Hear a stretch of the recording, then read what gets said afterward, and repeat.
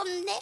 왜 요즘 보이지 않으셨어요? 내가 말을 안 했구나. 네, 말씀해 보셔요. 나 요즘 기업 홍보팀에서 인턴으로 근무하고 있거든. 아, 열심히 사네, 열심히 살아.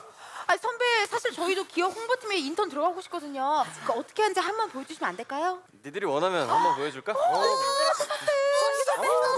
꼴배기, 민창기 꼴배기. 그래, 꼴배기 싫어도 저 청년이 열심히 사네. 그래, 요즘에 되게 뭐야, 뭐야, 야, 뭘 들고 왔어? 뭐예요, 선배? 뭔데, 뭔데, 뭔데, 뭔데, 뭔데, 뭔데, 뭔데, 뭐야? 창기 선배 뭐예요? 뭔데? 뭐야? 이거 뭐야? 어, 장기 선배! 이거 뭐야, 갑자기? 선배! 장기 선배!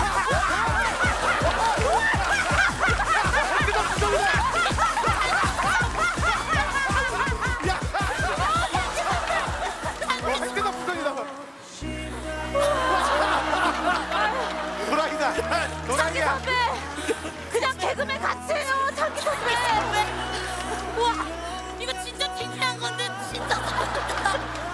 생각보다 멘탈이 세네요. 창기 선배 진짜 뻔상이에요.